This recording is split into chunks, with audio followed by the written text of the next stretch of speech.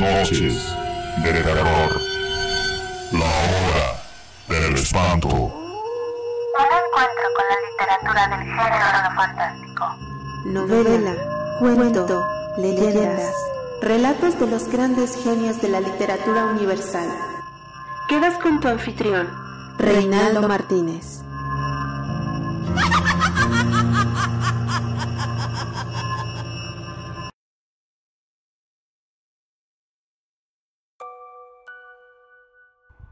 Se trataba de una expresión que en el pasado había practicado de un modo casi constante y que continuaba practicando con bastante regularidad en el espejo del dormitorio del piso de Nueva York que llamaba su hogar, así como en los espejos de los hoteles y moteles que realmente eran su hogar. Pareció funcionar. De hecho, Celida McCammon se la devolvió con toda presteza, pero lo cierto era que Diz no se había sentido amable ni cálido en toda su vida. Cuando era niño creía que dichas emociones no existían, que tan solo eran una máscara, una convención social. Más tarde decidió que estaba equivocado. La mayor parte de lo que él consideraba emociones del Reader's Digest eran reales, al menos para la mayoría de la gente. Tal vez incluso el amor, aquella fábula, era real. El hecho de que él no pudiera sentir dichas emociones era sin duda alguna una pena, pero no el fin del mundo. Al fin y al cabo, había gente que padecía cáncer, que tenía el SIDA o la memoria de un periquito con trastornos mentales. Visto desde ese punto de vista, uno se daba cuenta con una gran rapidez que estar desprovisto de algunas emociones sentimentaloides no era más que una minucia. Lo importante era que si uno sabía cómo estirar los músculos del rostro en las direcciones adecuadas, entonces no le pasaba nada. No dolía y era fácil. Al fin y al cabo, si podía recordar subirse la bragueta después de mear, también podía recordar sonreír y adoptar una expresión cálida cuando eso era lo que se esperaba de él. Y una sonrisa comprensiva había descubierto a lo largo de los años era la mejor arma del mundo para cualquier entrevista. De vez en cuando, una vocecilla interior le preguntaba cuál era su propia visión de las cosas, pero Diz no quería tener su propia visión de las cosas. Lo único que quería era escribir y hacer fotos. Se le daba mejor escribir, siempre había sido así, y las cosas no cambiarían, y lo sabía, pero de todos modos le gustaban más las fotografías, le gustaba tocarlas, ver cómo congelaban a las personas, ya fuera por sus rostros reales expuestos al mundo entero, ya fuera con sus máscaras, tan obvias que era imposible ignorarlas. Le gustaba el hecho de que en las mejores fotografías la gente siempre parecía sorprendida y horrorizada, parecía atrapada. Si le presionaban, Diría que las fotografías le proporcionaban toda la visión que necesitaba y de todos modos el asunto no tenía importancia alguna en este caso. Lo que importaba era el piloto nocturno, su pequeño amigo el murciélago y el modo en que había entrado en las vidas de Ray y Ellen Sarge hacía aproximadamente una semana. El piloto había salido de su avión y entrado en la oficina que ostentaba un aviso ribeteado de rojo de la Administración Aérea Federal, un aviso que indicaba que había un tipo peligroso piloteando un Cessna Skymaster 337 con matrícula N101BL y que era bien posible que hubiera asesinado a dos hombres. Aquel tipo proseguía el aviso. Podía hacerse llamar Dwight Renfield, pero no necesariamente. El Skymaster había aterrizado. Dwight Renfield había firmado en el registro y era casi seguro que había pasado el día siguiente oculto en la bodega de su avión, y los Serge, aquellos dos ancianos tan perspicaces, los Serge no habían hecho nada, salvo que esto último no era del todo cierto, había averiguado Diz. Ray Serge había hecho algo, sí señor, había invitado al piloto nocturno a su casa a ver un episodio de la serie con Smoke y a beber una cerveza con su mujer. Lo habían tratado como si fuera un viejo amigo y entonces Al día siguiente, Ellen Search había pedido hora en el salón de belleza, lo cual le había parecido algo extraño a Célida McCammon. Por lo general, las visitas de Ellen eran tan puntuales como un reloj, y aquella se había adelantado al menos dos semanas según la opinión de Célida.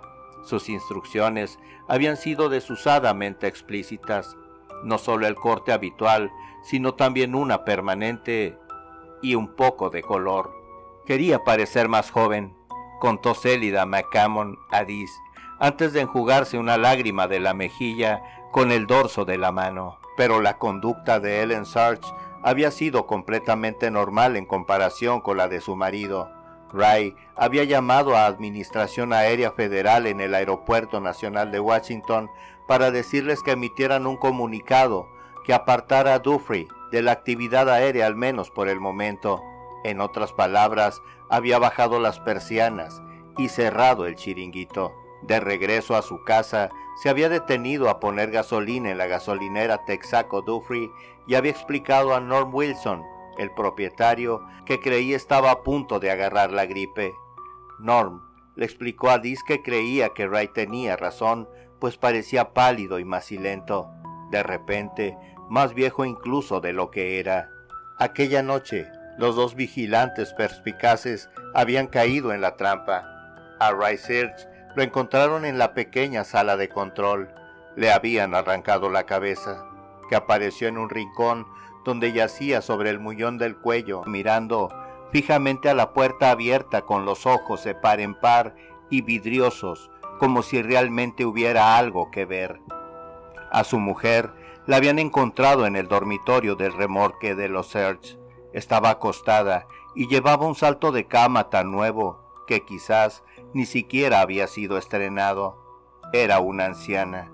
Había explicado a Des, un ayudante del sheriff, que le había costado 25 dólares, por lo que resultaba más caro que Ezra, el increíble mecánico empapado en Ginebra, aunque realmente valía ese dinero, pero bastaba con echarle un vistazo para ver que aquella mujer se había vestido para amar.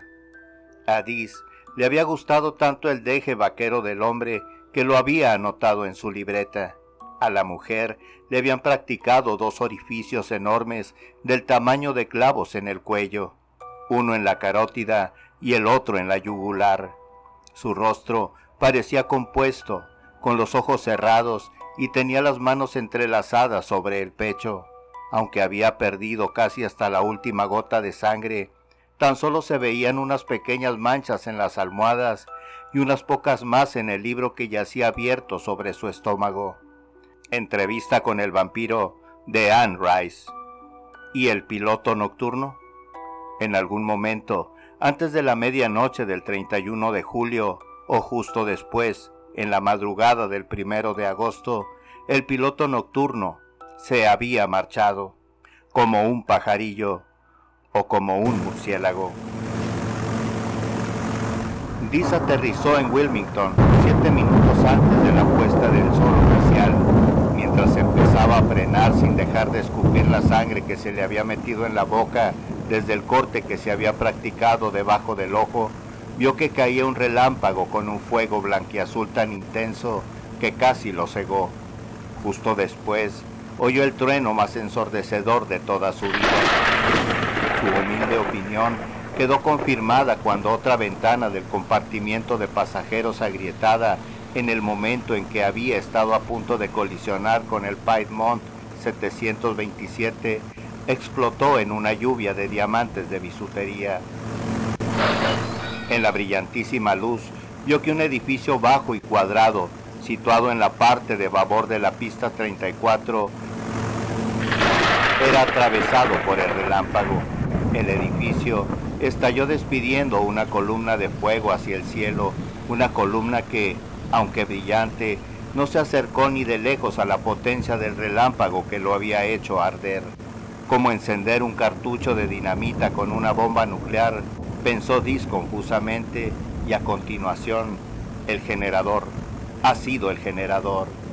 Las luces, todas las luces, las luces blancas que marcaban los bordes de la pista de aterrizaje y las brillantes luces rojas que marcaban su final, se apagaron de repente, como si no fueran más que velas extinguidas por una fuerte ráfaga de viento. Diz se vio avanzando a más de 140 kilómetros por hora en la oscuridad más completa. La onda expansiva de la explosión que había destruido el generador principal del aeropuerto golpeó el beach como un puño de hierro. De hecho, no solo lo golpeó, sino que lo martilló con una enorme fuerza. El beach, que apenas sabía que ya se había vuelto a convertir en una criatura terrestre, derrapó peligrosamente hacia estribor, se alzó, volvió a caer sobre la pista con la rueda derecha rebotando sobre algo que Diz se dio cuenta aunque de un modo vago, eran las luces de aterrizaje. ¡A babor! gritó su mente. ¡A babor, hijo de puta! Estuvo a punto de hacerlo antes de que su parte más racional se impusiera. Si giraba los mandos hacia babor a esta velocidad, volcaría sin lugar a dudas. Lo más probable era que no estallara teniendo en cuenta la poca cantidad de combustible que le quedaba a los depósitos. Pero todo era posible.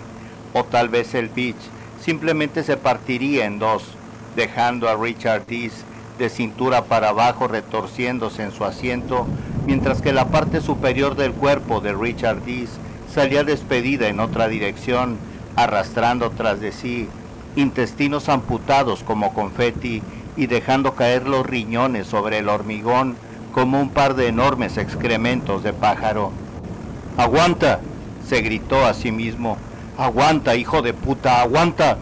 En aquel momento, algo, los tanques depósitos secundarios del generador, se dijo cuando tuvo tiempo de decirse algo, explotó, empujando el bicho aún más hacia estribor, pero eso le fue bien, ya que lo apartó de las luces de aterrizaje apagadas y de repente volvió a circular con relativa suavidad con el lado de babor rodeado por el borde de la pista 34 y el lado de estribor en el escalofriante abismo que había entre las luces y la cuneta que había observado se abría a la derecha de la pista. El beach seguía estremeciéndose, pero no mucho, y Diz comprendió que una de las ruedas, la de estribor, estaba pinchada a causa de las luces de aterrizaje que había pisoteado. Estaba frenando y eso era lo que importaba. Finalmente, el Beach empezaba a comprender que se había convertido en una criatura distinta, una criatura que volvía a pertenecer a la Tierra. Diz empezaba a tranquilizarse cuando vio el ancho Learjet, el que los pilotos denominan el gordo Albert, justo delante de él, aparcado por increíble que pareciera, en el centro de la pista, donde el piloto lo había detenido mientras esperaba la autorización para despegar en la pista 5. Diz lo miró atónito.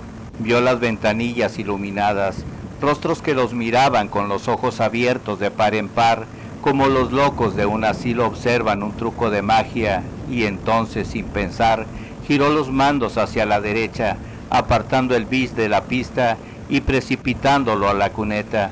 Logró esquivar el ir por aproximadamente tres centímetros.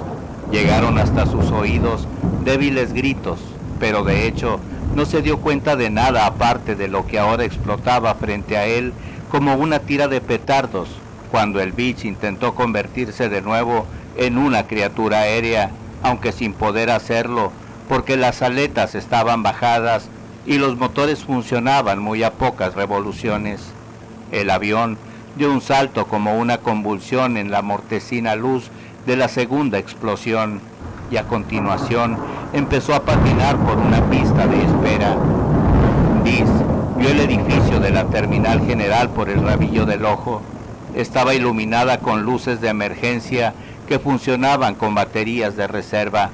Asimismo, vio los aviones aparcados, uno de los cuales era, con toda seguridad, el Skymaster del piloto nocturno, como siluetas oscuras de papel de seda recortadas contra la lastimosa luz anaranjada de la puesta del sol y que ahora se distinguían gracias a los relámpagos.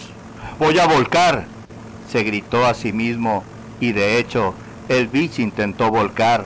El ala de babor empezó a arrastrarse por la pista de espera más cercana a la terminal levantando un manantial de chispas hasta que la punta se desprendió y rodó hasta los arbustos, donde la fricción encendió un mortecino fuego en los hierbajos mojados. A continuación, el beach se detuvo y los únicos sonidos que oyó eran las interferencias de la radio, el sonido de botellas rotas que vertían su contenido sobre la alfombra del compartimiento de pasajeros y el enloquecido martilleo de su propio corazón. Diz se desabrochó el cinturón y se dirigió hacia la puerta del avión antes de estar totalmente seguro de que seguía vivo. Recordaba lo que sucedió a continuación con extraña claridad, pero lo único que recordaba con seguridad desde el momento en que el bis se detuvo por fin sobre la pista de espera, de espalda hacia el ir e inclinado hacia un lado, hasta el momento en que oyó los primeros gritos procedentes de la terminal era que había alargado el brazo para coger la cámara. No podía salir del avión sin la cámara. La Nikon era la cosa más parecida que tenía a una esposa. La había comprado en una casa de empeño de Toledo cuando tenía 17 años y la conservaba desde entonces. Le había añadido objetivos, pero la carcasa básica seguía siendo la misma que entonces. Las únicas modificaciones que había introducido habían sido algunos rasguños y abolladuras que formaban parte de su trabajo. La Nikon se encontraba en el bolsillo elástico que había detrás de su asiento. Tiró de ella para sacarla. La miró para comprobar que seguía intacta y vio que así era. Se la colgó del cuello y se inclinó sobre la puerta del avión. Tiró de la palanca, saltó del avión, tropezó, estuvo a punto de caerse y logró coger la cámara antes de que chocara contra el hormigón de la pista de espera.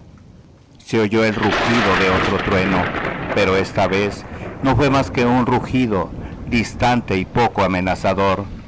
Una brisa lo rozó como la caricia de una mano cariñosa sobre el rostro, pero más fría por debajo del cinturón. Dis hizo una muesca, el episodio de que se había meado encima cuando el Beach y el Piedmont habían estado a punto de chocar tampoco figuraría en el artículo.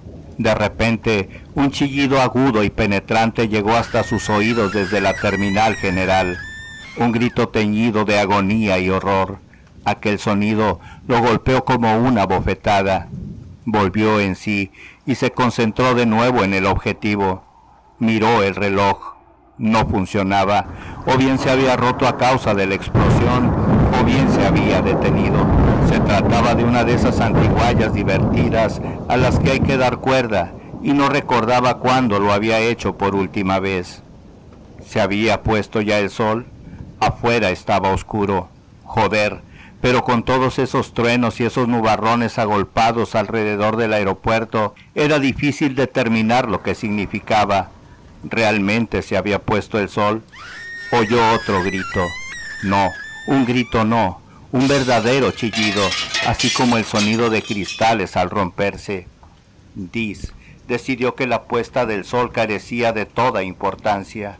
Echó a correr sin darse cuenta apenas de que los depósitos auxiliares del generador seguían ardiendo y de que olía a gas en el aire. Intentó correr más deprisa, pero tenía la sensación de correr sobre cemento líquido. La terminal se acercaba cada vez más, pero no demasiado deprisa, no lo bastante deprisa. No, por favor, por favor no, por favor no, oh, por favor no. Aquel chillido, cada vez más fuerte, se vio interrumpido de repente por un terrible aullido inhumano. No obstante, sí había algo humano en él, y eso era tal vez lo más terrible de todo. A la mortecina luz de las bombillas de emergencia instaladas en las esquinas de la terminal, Diz vio que una figura oscura que se agitaba rompía más cristales de la pared de la terminal que se orientaba hacia el aparcamiento. Una pared que constaba casi únicamente de cristal. La figura salió despedida a través de ella, aterrizó sobre la rampa con un golpe sordo, rodó sobre sí misma, Diz vio que se trataba de un hombre. La tormenta se alejaba, pero seguían brillando los relámpagos, y cuando Diz entró corriendo en el aparcamiento, Jadeante, vio por fin el avión del piloto nocturno con la matrícula N101BL pintada en la cola. Las letras y los números parecían negros en aquella luz, pero él sabía que eran rojos y de todos modos no importaba. La cámara estaba cargada con película rápida en blanco y negro y armada con un flash inteligente que tan solo se dispararía cuando la luz fuera demasiado poco intensa para la velocidad de la película. La bodega del Skymaster estaba abierta como la boca de un cadáver. Bajo ella se veía un gran montículo de tierra en el que se retorcían pequeños objetos. Diz le echó un vistazo casual, se volvió para mirarlo por segunda vez y se detuvo a duras penas. Ahora su corazón no solo estaba lleno de temor, sino también de una salvaje felicidad. Qué bien que todo hubiera salido como había salido. Sí, se dijo, pero no lo llamaste suerte. No te atrevas a llamarlo suerte, no lo llames ni siquiera un presentimiento. Correcto, no era la suerte la que lo había mantenido en esa destartalada habitación de motel con aquel ruidoso aparato de aire acondicionado.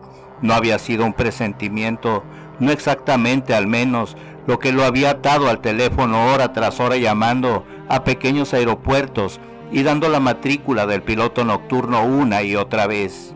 Se trataba de puro instinto de periodista, y aquí es donde empezaba a verse recompensado.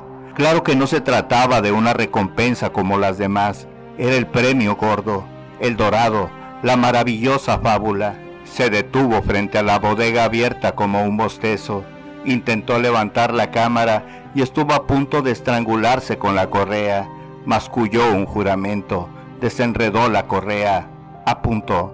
Desde la terminal le llegó otro grito, el de una mujer o bien un niño. Diz se percató de ello. La idea de que ahí dentro se estaba produciendo una verdadera masacre fue seguida por la idea de que dicha masacre no haría sino enriquecer la historia. Y a continuación, ambos pensamientos se disiparon mientras tomaba tres rápidas fotografías del Cessna asegurándose de que tomaba una de la bodega y otra de la matrícula. El rebobinado automático emitía su zumbido. Diz siguió corriendo. Más ruido de cristales rotos. Otro golpe sordo cuando otro cuerpo cayó al cemento como una muñeca de trapo rellena de algún líquido espeso y oscuro, como por ejemplo jarabe para la tos.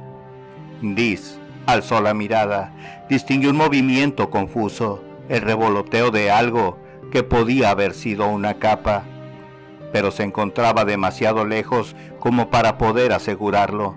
Se volvió y tomó otras dos fotografías del avión, esta vez de más cerca. La bodega abierta y el montículo de tierra aparecerían claros e innegables en el periódico. A continuación, se volvió y echó a correr hacia la terminal. Ni siquiera se le ocurrió el hecho de que solo iba armado con una vieja Nikon. Se detuvo a unos 10 metros del edificio.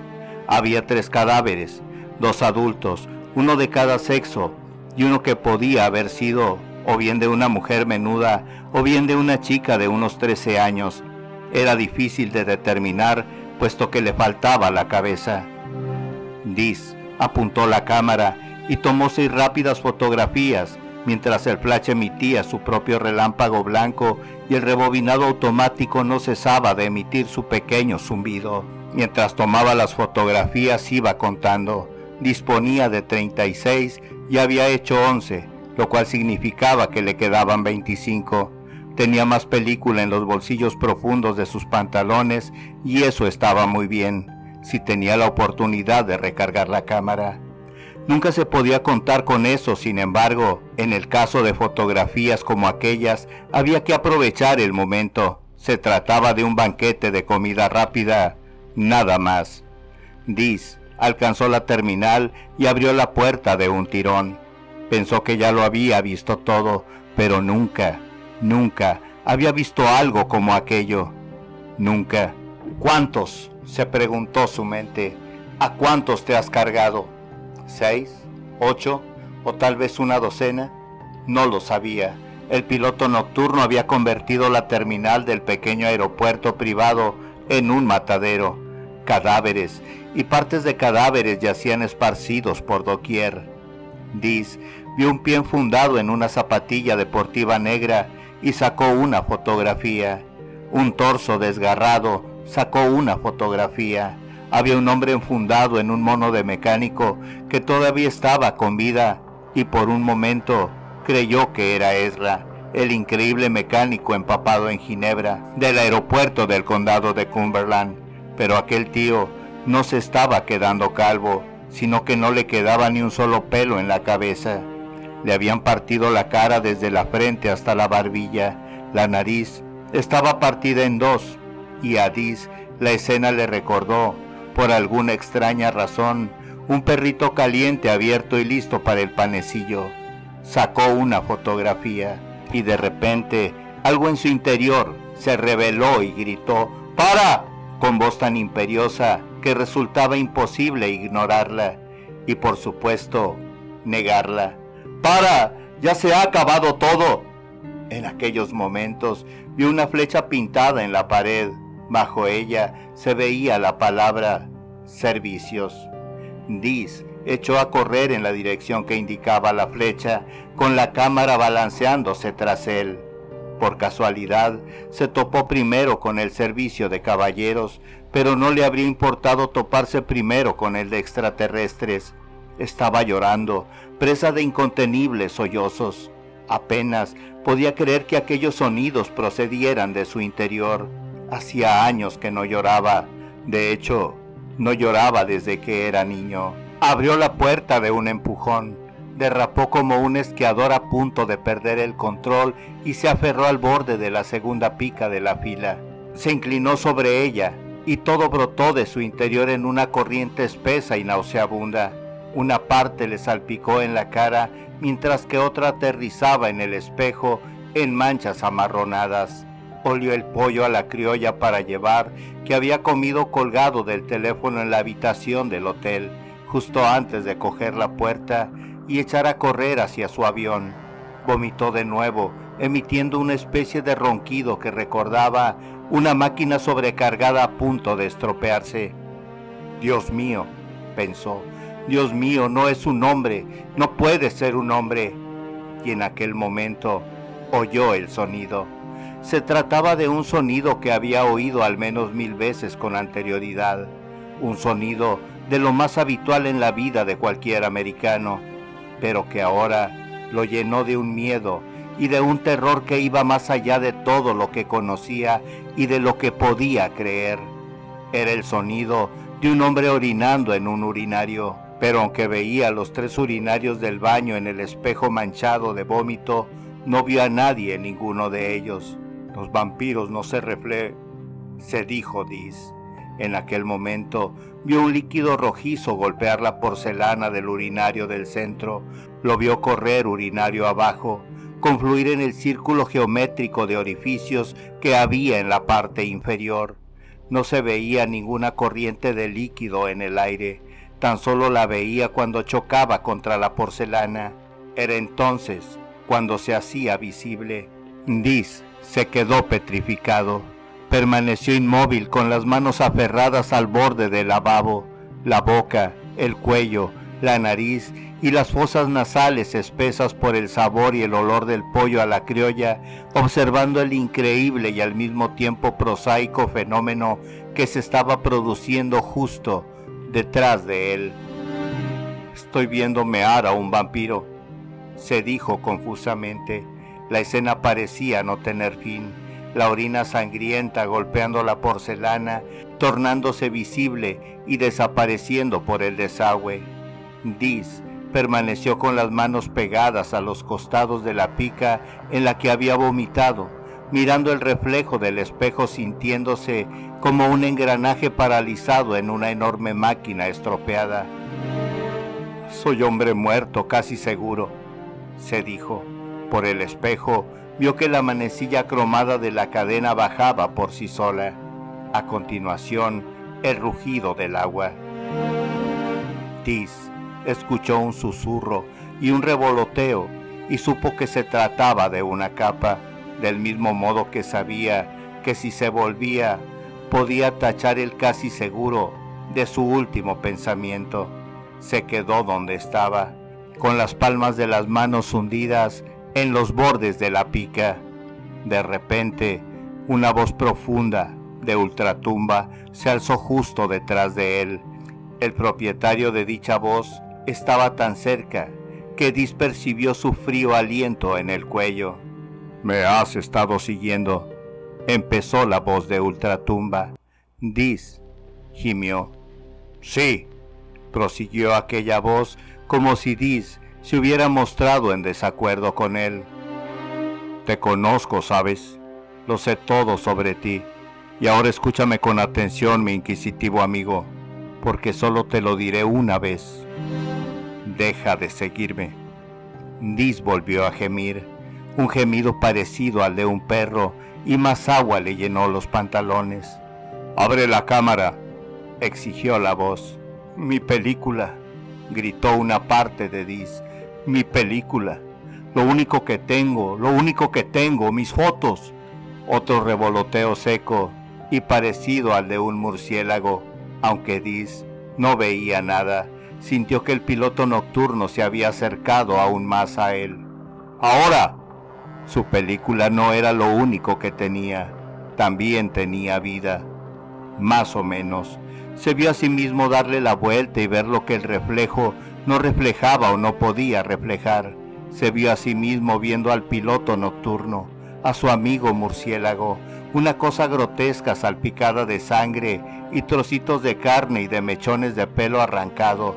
Se vio a sí mismo tomando fotografía tras fotografía mientras el rebobinado automático zumbaba, pero no se vería nada, nada en absoluto, porque tampoco se les podía sacar fotos.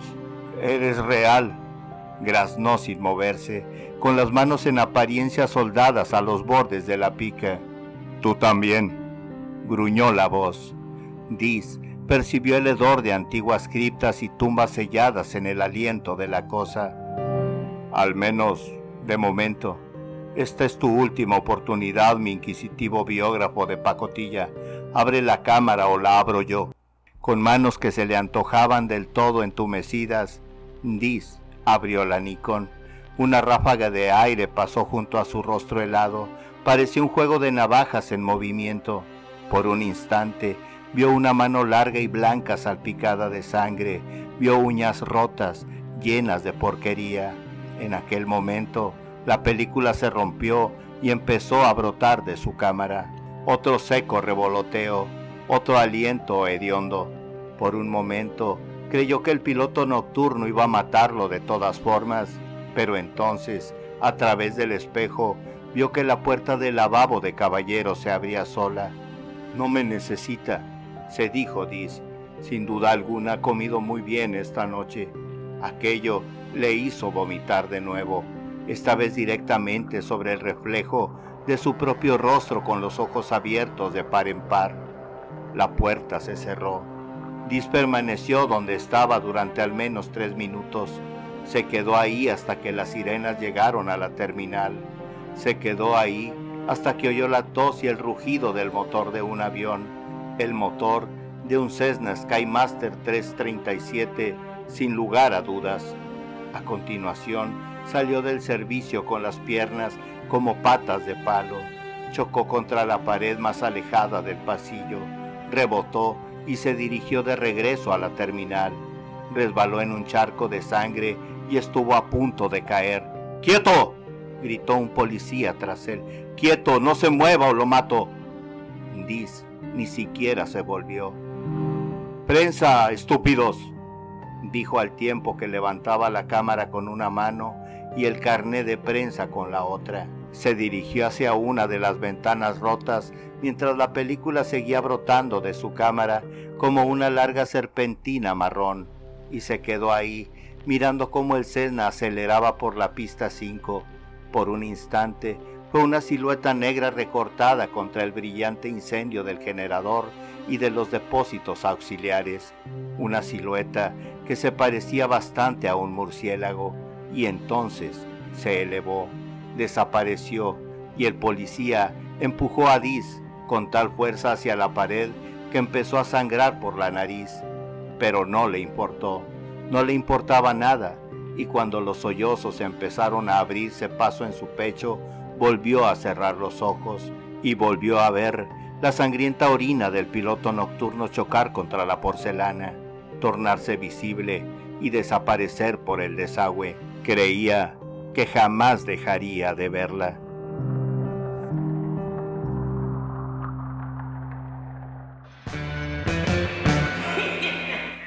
Agradecemos infinitamente tu presencia en esta lectura. Te esperamos en la próxima emisión. Síguenos en YouTube como Diabólicas Noches de Terror, en Evox y Spotify como La Hora del Espanto.